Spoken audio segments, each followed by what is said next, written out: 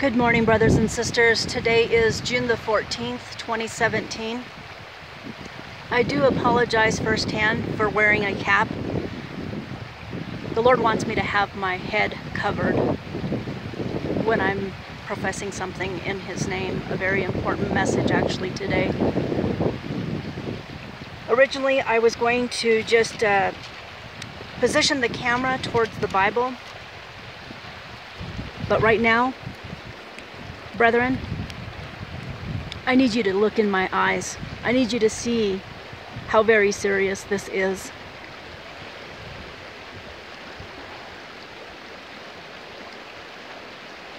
We came up to the mountains and normally I don't get cell coverage out here. I asked for confirmation on what was given to me last night and the Lord wants me to speak it forth.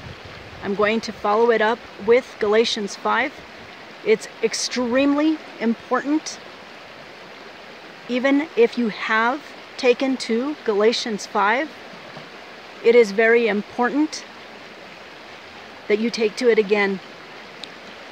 Specifically, if you are in the body of Christ, which you'll understand soon why. Last night, I was shown a member in the body of Christ I was given this person's name. I will not divulge that person's name. I have been praying on this and my heart, honestly, there's just no words. We know that it's written. We know that it's written that there will be workers of iniquity. I can say this person was not on my mind at all.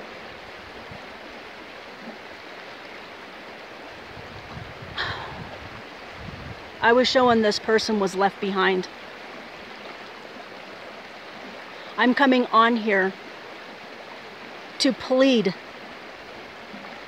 to plead with the body of Christ. Many of us continue to read the Bible and we know what the Lord expects from us, but we don't adhere to it. In 1 Corinthians 12, the Lord specifically talks about how God Himself, our Father, chose us as vessels in the body of Christ. For us, for us to be in unity. Today I'm coming on here as a plea. I'm begging you all. I'm begging you all to please read Galatians 5 as that's what the Lord led me to. He also led me to the verse of the day, which is, um, let me see here. You know, I'm not really good with these names, guys, so I apologize. I'm, I'm not an expert. Um, uh, Philippians chapter 3. However, he wants me to read the significance and the reason that he showed me this person in the body of Christ being left behind.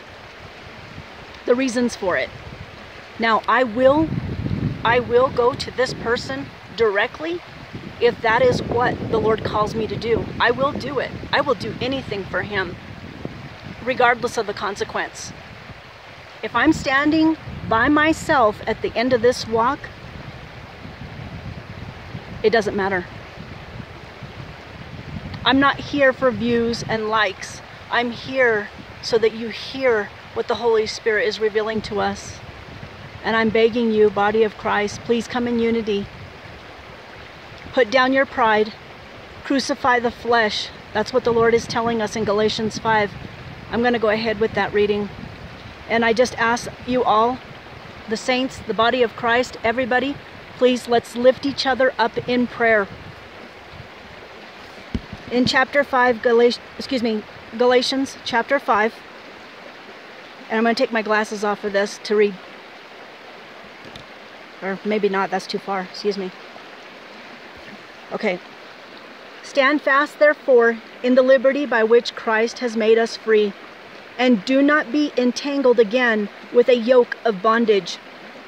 Indeed, I, Paul, say to you that if you become circumcised, Christ will profit you nothing. And I testify again to every man who becomes circumcised that he is a debtor to keep the whole law. You have become estranged from Christ. You who attempt to be justified by law, you have fallen from grace. I'm going to intercede here. I do not know scriptures by heart. I did not realize that that was going to be in there. As God is my witness. I'm going to proceed. Excuse me. For we, through the Spirit, eagerly wait for the hope of righteousness by faith. For in Christ Jesus, neither circumcision nor uncircumcision avails anything but faith working through love. You ran well. Who hindered you from obeying the truth? Please listen to that.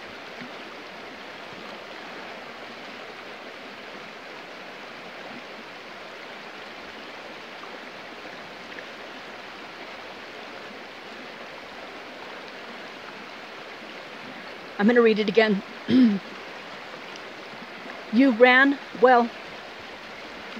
Who hindered you from obeying the truth? This persuasion does not come from him who calls you. A little leaven leavens the whole lump. I have confidence in you in the Lord that you will have no other mind. But he who troubles you shall bear his judgment, whoever he is. And I, brethren, if I still preach circumcision, why do I still suffer persecution? Then the offense of the cross has ceased.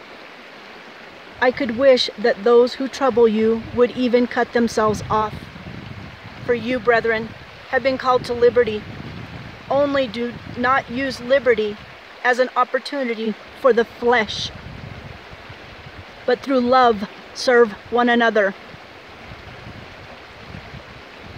For all the law is fulfilled in one word, even in this, you shall love your neighbor as you love yourself.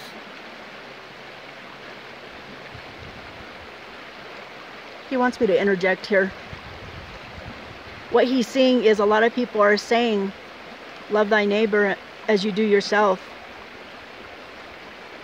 You're not doing it. You're not doing it.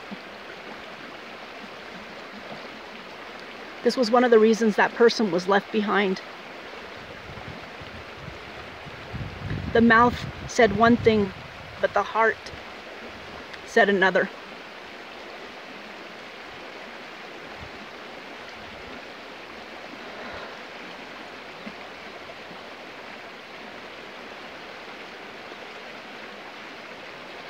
But if you bite and devour one another,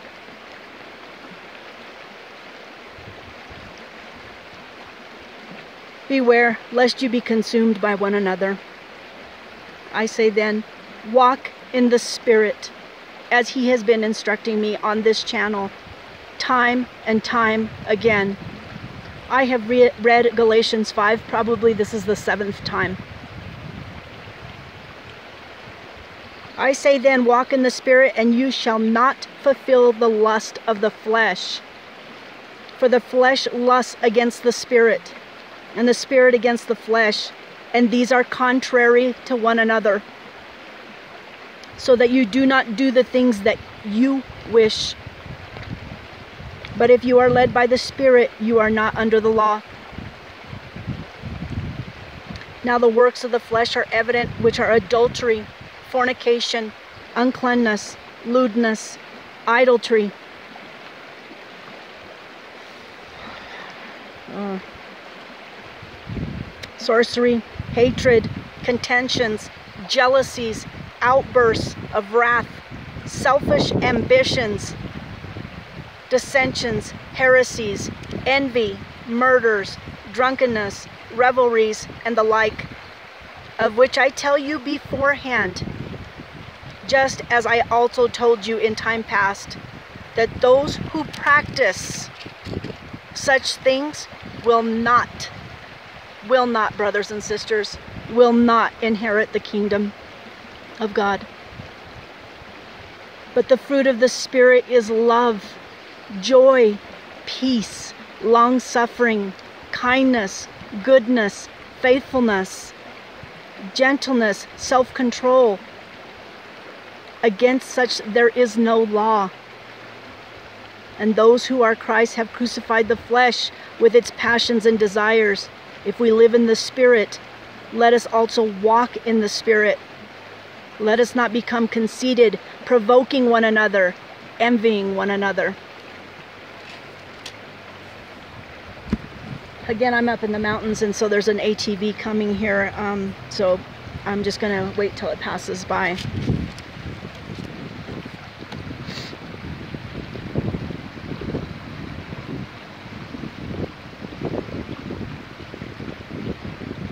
Brothers and sisters, please take a moment and read those two chapters that I gave you. Those were hand selected by the Lord Himself. He told me to read those to you. He stirred it in my spirit so strongly. And oddly enough, I have cell coverage in a place I have not had cell coverage at.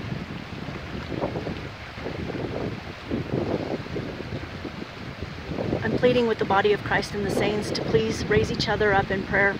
Put your differences aside.